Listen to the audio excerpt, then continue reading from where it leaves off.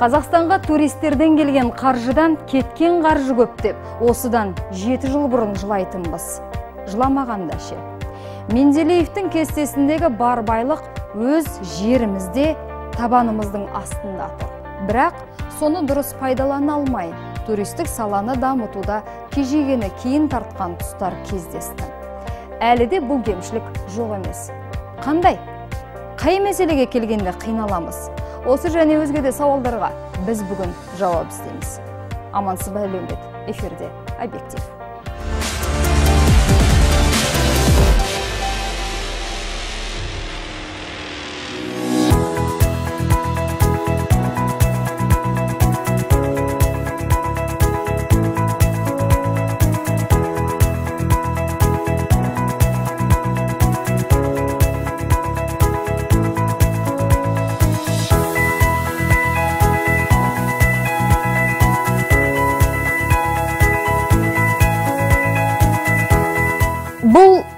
Көпшіліктің көзін қызықтырып бізге кел деп өзіне шақырып тұрған дубай мен анталия.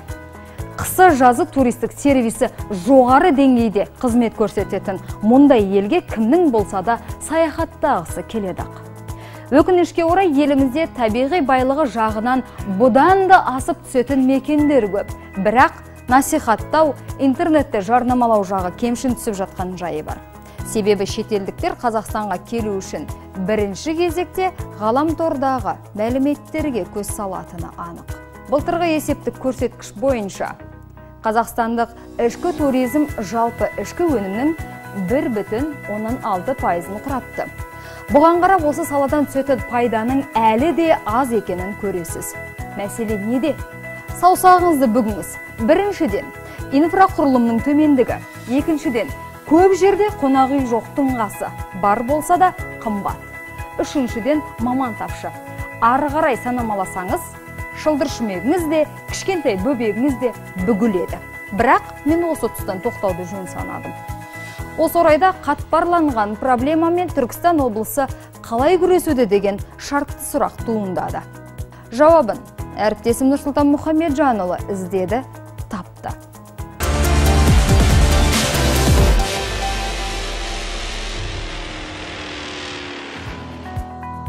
Түркістан облысының туризм ідесі қожа ахмет яссауи кесенесі отырар ақмешіт үңгірі ақсу жабағылы қорығы тағысын тағы табиғи рухани орындарды айтамыз. Табиғатымыз тамаша әлемде жоқ шатқалдарымызды айтып мақтанып та аламыз.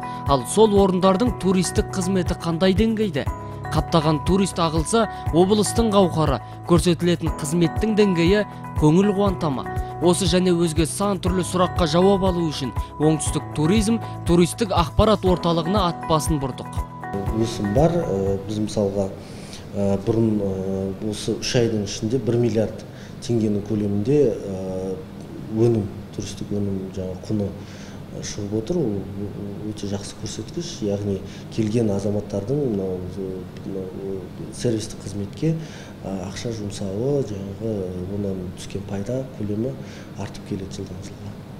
Жылжу даму өсу бар. Туристердің де түскөйге келуі жиілеген. Ағымдағы жылдың бастапқы үш айының өзінде былтырғы жылдың осы кезеңімен салыстырғанда 10 мың туристке артқан. Демалушылардың көбі голландия қытай жапония мемлекеттерінен келген. Оларға көрсетілетін қызмет қол соғуға тұрарлық па? Ақпарат ұсынған кезде бізге жаңағы ақпаратты тура нақты және қызықты қылып айтып беретін гидтарды біз ұсынамыз. Ә, көбінесе сондай гидтарды біз одан ары қарай білімдерін шың, шыңдауға біз де атсалысамыз. Мысалға осы жылдың басында март айында наурыз айында юнеско мен бірлесе біз гидтерге арнайы тренингтер өткіздік. Юнеско ұйымымен бірлесе. Және одан бөлек мынау түркияның туреп халықаралық турцияның гид экскурсоводтар ассоциациясының жаңағы басшылығының ішінен бізге бір адам жіберіліп мұстафа ялченко азамат сол кісі келіп мынау біздің оңтүстік қазақстан облысында мынау халықаралық стандартқа сай туристермен жұмыс істеу мәселелерін біздің қазіргі таңда жұмыс істеп жүрген өзіміздің облысымызды білетін гид экскурсоводтарға гидтарға сондай мастер класс ұйымдастырып бес күн осында болып олармен жұмыс жасады иә білікті кадр қай салада болсын сұраныста айтып өтейік облыста рухани орындарды жаңғырту сәтті жүзеге аса бастады. Мәселен қасиетті қазақстан өлкетануды дамыту орталығының сараптамалық кеңесіне өңірімізден жүз шақты киелі тарихи орындар анықталып ұсынылған. Оның ішінде 25 республикалық қалған 75-і жергілікті маңызы бар орындар. Қаратау тауларын маңызды деп санаймыз. Сол себепті арнайы мына сәуір айында арнайы экспедиция жіберілді. Ол қазатомөнеркәсіп ұлттық компаниясымен бірлескен жоба болатын. Қазіргі кезде ол жоба әрі қарай жүріп өмірін жалғастырып жатыр. Бұл бойынша әлі толығырақ ақпарат беретін боламыз. Мынау созағымыз біздің сырлы әрі, әрі жаңағы туристік рекреациялық мүмкіндіктері зор. Ол жерге мынау адамдардың көптеп баруы мынау заңдылық деп ойлаймын. Әрине инфраструктураның жеткіліксіздігі бар оны анықталынып қандай инфраструктура жеткіліксіз сол бойынша жаңағы осы жыл соңына дейін біраз жұмыстар атқарылып тағы да мәлімет берілетін болады. Өңірде өзгеге мақтанып көрсететін киелі мекендеріміз көп болғанымен эстрада өнер жұлдыздары шетелге шығып саяхаттағанды құп көріп жатады.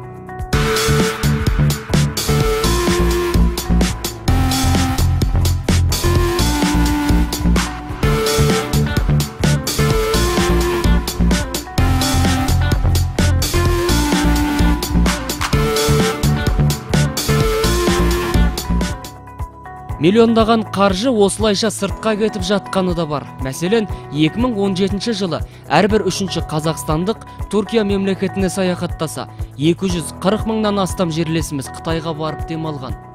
Мысалға жапондық туркомпаниялар бізге хабарласып бізде мысалға мынау созақ ауданында қаратау ұлттық паркіне бару жолын немесе қалай ол жерге кіру ол жерде жаңағы гид бар ма деген сияқты мәлімет немесе жапон тілін білетін жаңағы гидтар бар ма деп ақпарат сұрап жатыр. Олар өздерінің группаларын дайындап осы жақын арада келу жоспарлап жатыр.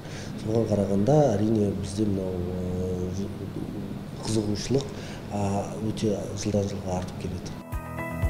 Әрине бағасы қолайлы көңілге жайлы демалыс аймағы кімге ұнамасын? Бізде де шырайы келіскен орындар рухани құндылықтар жетерлік. Табиғат бар тарих бар. Тек соны әдемі қылып көрсетудің әдісін әлі де арттыру керек. Нұрсұлтан мұхамеджанұлы рулан рүстемов нұржан ақжолов объектив.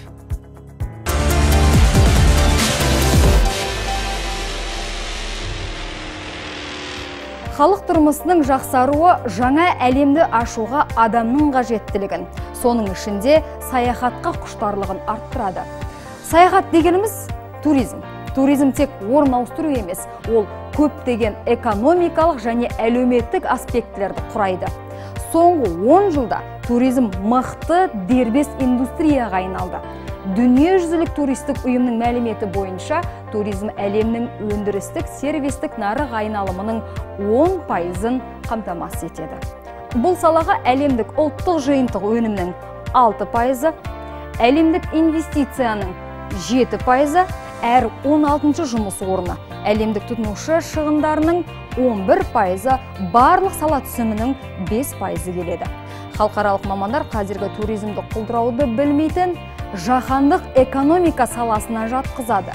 Кіріс жағынан ол тек мұнай экспорты мұнай мен автомобильге ғана жол береді. Шикізат сату елдің энерготасымалдаушыларын шығынға ұшыратады. Ал туриндустрия жанданып келе жатқан ресурстарда жұмыс істейді. Осыдан келіп туризмді дамыту шикізат сатудан тиімдірек пе деген ойға еріксіз берілесің. Инвесторлардың кәсіпкерлердің жылдан жылға мынау туристік аймақтар соғу инфраструктуралық жаңағы жобаларды іске асыру туризм саласында жылдан жылға артып келеді. Мысалға өздеріңіз байқасаңыздар көп қонақ үй ашылып жатыр. Бір жылдың ішінде мысалға он он бес шақты қонақ үй ашылып жатыр. Мына шымкент қаласының өзінде бірнеше қонақ үйлер ашылып жатыр. Мына жыл аяқ жыл соңына дейін жаңағы үлкен үш қонақ үй шымкент қаласында ашылады дәл солай мысалға екі қонақ үй түркістан қаласында ашылайын деп жатыр қазір миллиондар мегаполисінің өзінде 97 мамандандырылған туристік ұйым мен 100 қонақ үй бар. Саннан ұтылмасымыз анық ал сапа жағы қалай? Бізді көбінесе мынау өзбекстан мемлекетімен көп салыстырады жақын болғандықтан климат жағынан жаңағы сәйкес келеміз жаңағы мәдениет жағынан біз жақынбыз. Мысалға бізде бес, бес жұлдызды жаңағы қонақ үйдің бағасы ташкентке қарағанда екі есе арзан. Не болмаса төрт жұлдызды қонақ үйлерді алсақ ташкент қаласынан үш есе арзан. Біздің мына демалыс аймақтарымыздың бағасы мысалға он сегіз мың жиырма бес мың қырық мың төрт адамға қырық мыңдық коттедждер да. Төрт адам басына он мың теңге. Шетелден келген адамдарға мысалға кіші тур бір күндік тур мысалға орта есеппен алғанда отыз елу доллар адам басына жаңағы топтық турлар сонда олар айтады не деген арзан екі жүз километр жер бір күн уақытымыз кетті бірақ соған отыз доллар төледік деп та. Шетелдік туристер 150 шақырымды бір ақ күнде жүріп өтіп түске дейін далада түстен кейін тауда бола алады. Бұл да күнделіктердің өзгелерде жоқ ерекше климаттық жетістігі. Тек мұны тағы қайталап айтайын. Жарнамалау жағынан дамыта түсу керек. Оны осы сала мамандарының өзі де мойындайды. Айтып өтейін дәл бүгінгі күні елімізге 45 елдің азаматы визасыз кіре алады. Біз осы мүмкіндікті пайдалануымыз қажет. Ал қазақстандықтар 71 мемлекетке бара алады. Оның ішінде әзірбайжан албания аргентина барбадос белоруссия бразилия коста рика македония моңғолия түркия эквадор сынды елдерге визасыз ақ саяхаттай аласыз. Нұрсұлтан мұхамеджанұлының сюжетінен байқаған боларсыз. Түскейге келуші туристер былтырғы жылмен салыстырғанда 10 мыңға артқан. Соңғы айдағы статистика түркістан облысына 62 мың азаматтың сапарлап келгенін көрсетеді. Бұдан түскен қаржы да жаман емес. Тарихи мекендер рухани орындар таулы аймақтар басты сұраныста осыған байланысты облыста бірнеше қасиетті мекен қалпына келтіріліп қайта жаңғыртыла бастады. Солардың арасында кентау іргесіндегі қарнақ ауылы бар. Мұнда бара қалсаңыз 18 ғасырда соғылған мешіт медресе көзге түседі. Оған меккеге сапар алдында атақты құнанбай бас сұғып білімін жетілдірген деседі. 13 ғасырдың көзін көрген қасиетті тұт ағашы да түркістандық тайқазанда құйылған осы мекенде. Қарнақтың батыс жағында орта ғасырдан бері қабірлер сақталған зират бар. Сол жердегі 1300 жылдық тұт ағашын жергілікті жұрт мәжіра төт деп атайды. Бұл ағашты 13 ғасырда осы далаға қоныстанған араб қолбасшысы кутейба ибн муслим еккен деген аңыз жүр. Себебі тұттың жанында дін таратушының мазары тұр. Сан ғасырлық ағаштың діңгегіне тоғыз адамның құшағы зорға жетеді. Жұрт пайымында оны айналған адамның жолы ашылады деген түсінік қалыптасқан. Мәжіра тұт дейді осыған атын қағып қазық қылып содан өсіп шыққан мына тұт мың жылдан асып кетті. Осы дінді тарқатқан кісі осы кісі болып. Көненің көзі саналған ауылдың орталығында 1789 жылы іргетасы қаланған шамат ишан мұражайы тұр.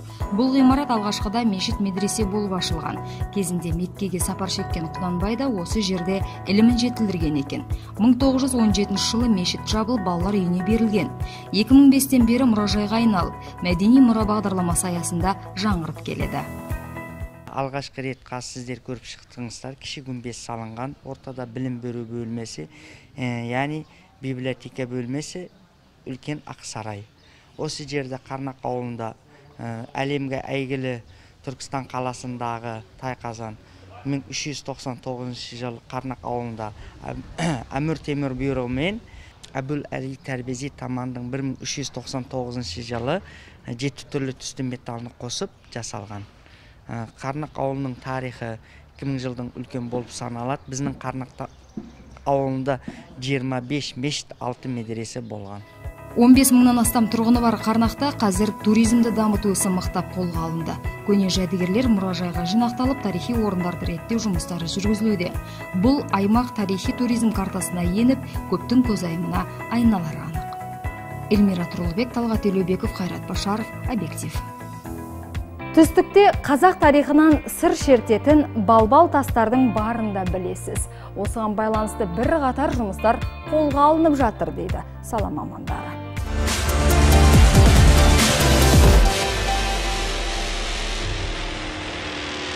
Күнгейдің ерекшелігінде келі орындар ғана емес. Сонымен қатар курортты аймақтардың да сұраныста тұрғанын айттық. Айшықталып тұратыны сарыағаш ауданы.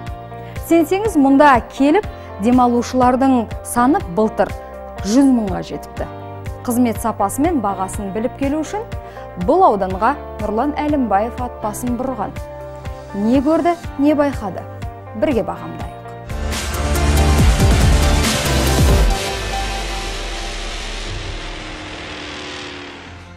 Жер көлемі жағынан әлемде тоғызыншы орын алатын қазақстанның мемлекеттік шекарасының ұзындығы 15350 шақырым екен. Таумен де таспен де өзен көл құлан жортып құс ұшпайтын шөлмен де жүреді. Бес мемлекетпен шектеседі.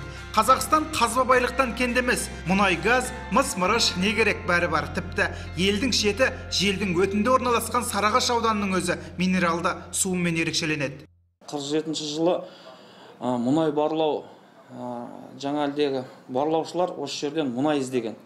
Мұнай іздеген кезінде жердің астынан мың метрден ұзақтау жерден осы сарыағаш минералды суы шыққан. Сонымен өзбекстан мемлекеті бірінші пайдалана бастаған бұл суды семашко деген ғалым суды зерттеп судың емдік шипалық қасиетін анықтаған. Сол кезден бастап қиыр жайлап шет қонған ел жұртқа жап жақсы жағдай жасала бастады. Жөні түзу жолдар салынып электр жарығы тартылды. Бүгінде аудан халқының тұрмысы бір сыдырға тәуір оған себеп сарыағаш ауданында минералды және термалды суларды пайдалану арқылы сауықтыру туризмі мықты дамып келеді. Бұл сарыағаш ауданы көктерек ауылында орын тепкен сарыағаш емдеу оңалту кешені жауапкершілігі шектеулі серіктестігі. Шипажай 1963 жылы ашылған. 400 адам жұмыспен қамтылған. Санатория 674 орындық. Бір жылда 20 мың адамға қызмет көрсетеді. Курортологияның үш бағыты болады. Климатотерапия дейді. Минеральный су дейді. Диетотерапия физа диетотерапия. Осы фактордың бәрі бізде бар. Осы фактордың бәрі бізде бар. Суды ішеді климатымыз керемет. Біздің жаз кездерінде сарыағашта 45-50 градус болса бізден 5-7 градусқа шейін төмен тұрады. Көгалдандыру керемет жатыр. Су шашылып тұрады.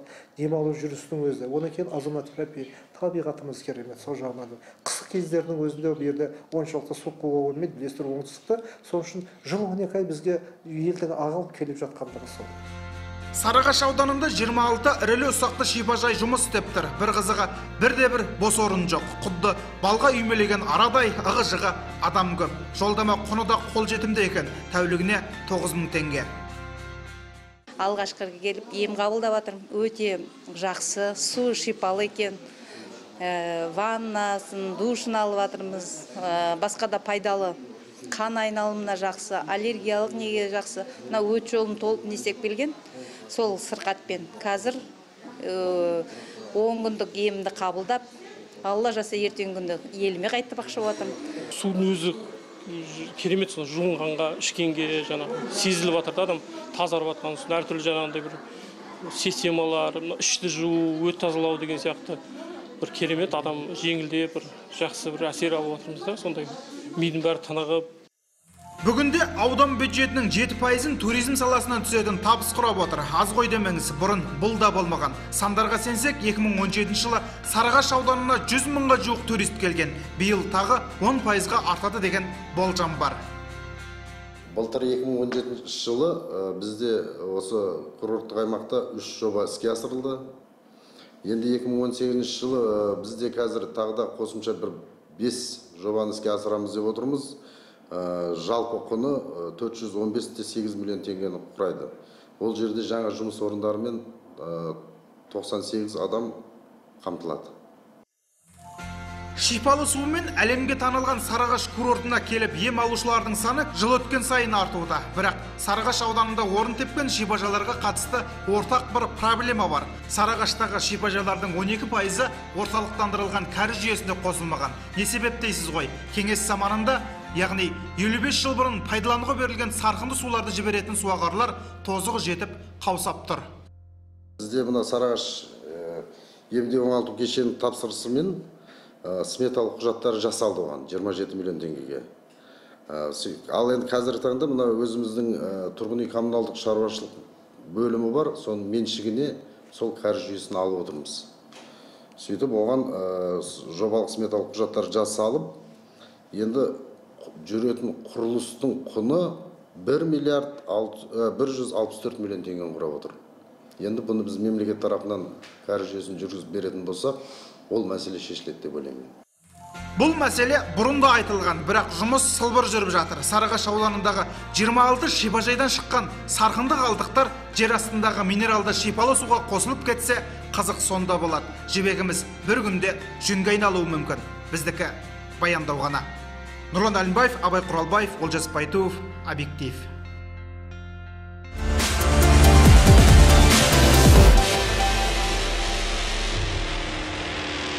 Бір қатар ерекшелікті байқасаңыз өз еліміздің туризмін дамытуға ат салсыңыз сапа да сан да бар. Тіпті бағады 5 жұлдызды қонақ үймен есептегенде қол жетімді.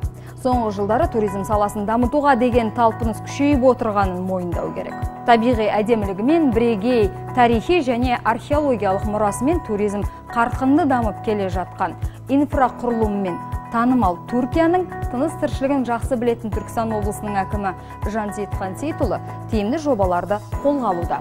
Ұлы жібек жолын қайта жаңғырту, кластерін дамыту ісі айрықша назарға ілігіп, Түркістан қаласы, Отырар мен Сарыағаш аудандары, Ақсу Жабағылы және Қаратау қорықтары мен Сайрам Өгем мемлекеттік ұлттық табиғи паркі туристік нысандары енгізілген.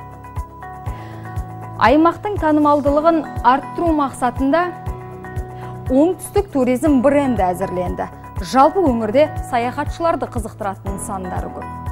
Мысалы, ЮНЕСКО-ның мәдени мұралар тізіміне енгізілген Қожа Ахмет Яссауи кесенесі. Сауран қалашығы, Отырар ауданындағы Арыстанбаб кесенесі мен Көне Отырар қалашығы. Бәйдібек ауданындағы Бәйдібек ата, Домала ғана кесенелері мен Ақмешіт үңгірі. Төлебе және Түлкібас аудандарының қайталанбас әсем табиғаты. Ақсу Жабағылы, Қаратау қорықтары Сайрам Өгем мемлекеттік ұлттық табиғи паркі. Ақсу Жабағылы, Қаратау мемлекеттік табиғи қорықтары мен Сайрам Өгем мемлекеттік табиғи ұлттық парк аумағында экологиялық туризм және Сарыағаш, Манкент шипажайларында емдеу сауықтыру туризмі даму үстінде. Қолда барды қадірлесек, Түркістан облысына келуші туристер шынында да миллионнан асатыны анық. Соған үміттенейік, сенейік. Біздікі объективті көзі қарас, әрбір тақырыптан субъективті пікір қалыптастыру өз еншіңізде көрермен. Біздің осы маусымда аяқтайтын тақырыбымыз тамам. Жаңа маусымда алдағы бір айда қайта қауышқанша аман болыңыздар.